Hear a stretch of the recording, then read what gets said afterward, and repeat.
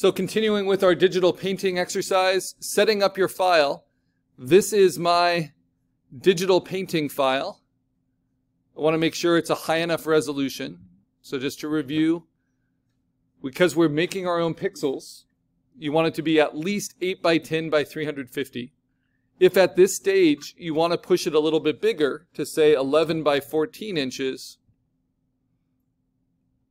or I'll make mine even bigger, like 14 by close to 18 inches. These are all close to standard sizes.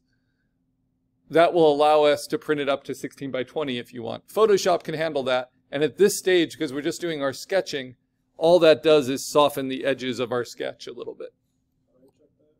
You go to image, image size, always to check your, your physical dimensions and your resolution. And then Photoshop will also tell it to you in the bottom left-hand corner. Except that I just changed it and it still says 8 by 10. So that's interesting. Yeah, that's interesting. So I don't know when that will change back to what it was. or what I just changed it to. But anyway, big enough, right? Big enough for your printing because every pixel you make now is something you want to keep. And you don't want to have to resize later. You can always make things smaller and it will take get rid of pixels and it does that fairly accurately, you know, to downsample it. But if you ever have to upsample pixels, all the computer can do is make a ring around each pixel with more of the same pixel. So edges get a lot softer. The other thing we need is our reference, right? Instead of just painting from imagination here to really try to control and get exposed to the digital painting techniques, no matter what kind of stylization we're using, we created these style sheets. Now let's open up the JPEG of it. I want to open up that style sheet, those references, color references, style references, subject references. Open those up in Photoshop as well. So I have two files open. And then I click on the file I'm going to paint on so that it stays on the, the left, and I go to Window, Arrange, Two Up Vertical, and I'll put them side by side. Why is that so helpful? Well, it allows me at any time to use this brush tool.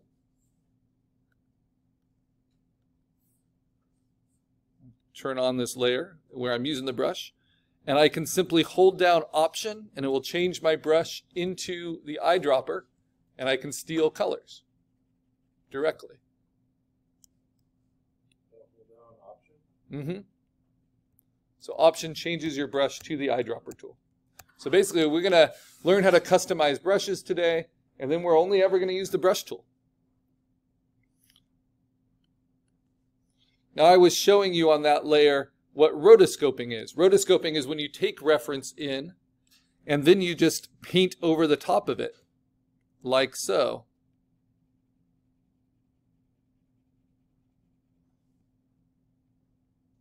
But it's pretty limiting because you're only going to be able to match what's already in the photo. And there are tools within Photoshop you can find lots of tutorials online about ways of doing digital painting, especially if you're trying to do match reality, kind of representational portraiture. And there is a tool under the brush called the mixer brush. And the mixer brush kind of takes the step of having to choose the color away from you. So what's interesting about it, I don't want us to use it this time, but it can can be helpful sometimes. It's good to know about is you can set it to be a wet brush, a dry brush, how it's going to um, split the, the mixing. And then what's interesting about it is you can set it to pick up the color from layers below. So here it says sample all layers.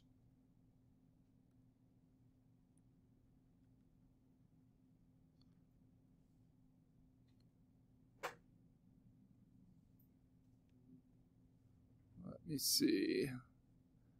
And we're going to mix it with our foreground color. So if I want everything to be a little bit warmer, I'm going to take that load down. I'm going to mix it barely at all. Let's try a very wet brush mix. All right, there we go. So what you can see is, like with watercolor, it's basically mixing this foreground orange at 50%, I'll take that lower, with the color, up, I'll make it higher. Mixing is like how much you want to blend the color underneath in with the pixels underneath. Oh, I'm doing it on the wrong layer. there we go. So it's kind of a quick way to do a, a rough underpainting. It looks like that. Right? It will actually take it in, at full opacity if the layer underneath is at full opacity. So if I want just kind of a soft or bristly underpainting,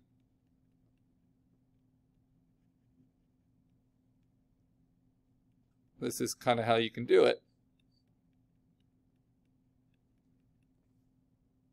And people will often use the mixer brush on later layers. So just just so you know about those things. But right now I'm going to stop rotoscoping because what we were doing was just doing the kind of linear sketch. To remember the steps of digital painting, go to my downloads. Remember this under links. Helps us understand the difference between digital coloring behind a, a finished line art versus digital painting where we're just building on top. So I had done this sketch, and then I had brought the photo reference over to kind of help tweak the sketch and map it. And now I'm going to tweak it a little bit more because this neck is what she would look like looking straight forward. But notice how her shoulders in this reference are angled. And so her neck is kind of pushed to one side because her spine's over here. So I'm going to change that. And I'm just going to use the regular brush tool and I guess I could use the eraser whenever I want to, and you can set that brush just like you would any other brush. And I'm going to erase the necks, the necklines I drew in just from a kind of a template point of view. And I'll use option on my brush steal the, the black line again. I'm painting at about 70%. And then I like that she has this high collar. I think that's pretty cool. And I like this shoulder width. You know, that activates well. Now her hair, I might make a little less symmetrical. Even though I'm not going to show a wrap, I'm going to show hair. I don't need it to all be piled up on one side. With some tablets, your stylus will actually have two ends. It will have an eraser end and a brush end. Sometimes that can be pretty helpful. But that is my sketch. You know, that's going to work pretty well. Now at this point, that's kind of a speed outline sketch. I'm going to duplicate that and I'm going to use the advantages of digital art, which is Command T.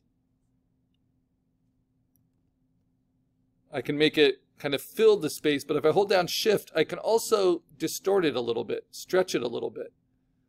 And I can also warp it.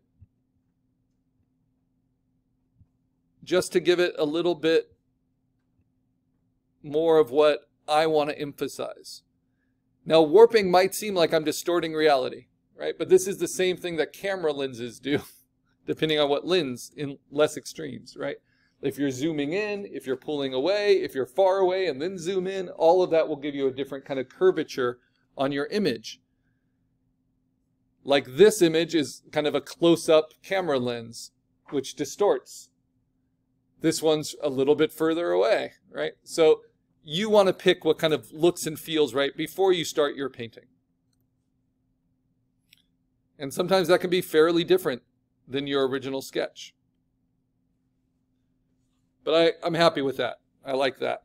You can also do little things, which I often do, which is to just take sections of it, like her eyes. If I really want to make her eyes a focal point, which her makeup definitely does, I can just take those and I can transform those on their own. Maybe warp them a little bit. I can make them upturned or downturned. I can give them kind of presence in the head. If I'm going for a stylization where the eyes are bigger than they are normally, this is a nice, nice way to play with those different distortions, like a Simpsons version of Nina Simone or an anime version. All of these are options in your sketching using digital. So you can see that's pretty different. Now all of this is going to get replaced with paint anyway. So I get to kind of refine all of these decisions, but a sketch can definitely help you. And then of course you can just simply draw as well and kind of find your your points. So if I want to tighten up this lower eyelid, for instance, then I can always just paint with white. That's why I do it at 70%. If I want to kind of indicate the highlight, I can do that in the eye.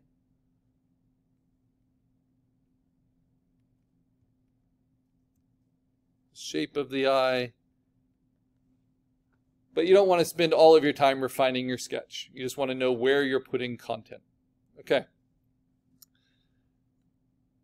The next step would then be basically what I'm going to show you here. Not here. Where is my... There we go. And this is to do what's called a speed painting. So not just a sketch, not a line sketch, but just shape sketching and base color filling. So if you don't want to deal with linear analysis of your subject at all, you just create a new layer. And I'll call this shape painting. And this will look chaotic, but it actually can be quite effective. And the difference is I'm still going to use a standard brush, but I'm going to use it much larger, where it really covers some space. Still pressure sensitive for size, and still at about 70%. And then I am simply going to pick a base color. You know, I could take it right from the photo. And I'm going to start in oil painting. This is called scumbling. You do it with horsehair brushes. You just kind of scribble it in and you get rid of the white. I'm going to block in some of the big forms I see. I might even try different color notes. The whole point here is to be thinking in terms of shape. So I'm doing kind of that egg shape first.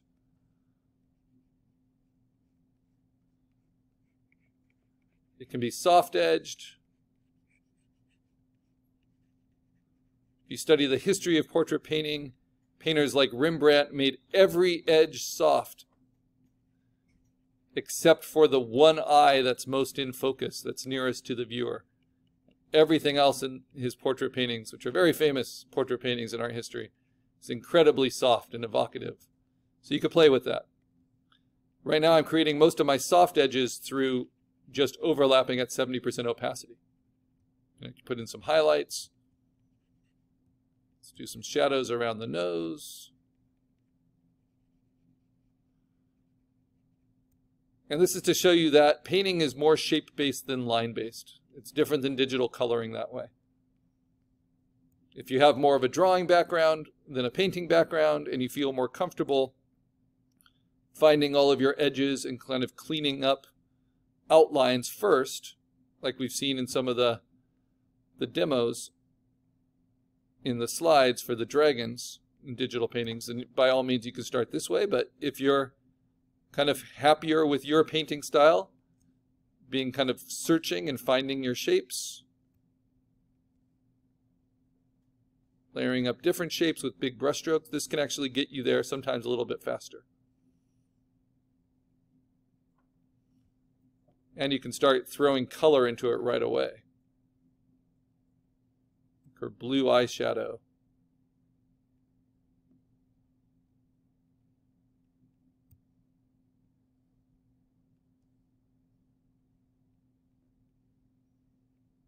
I can use unusual colors to start building value.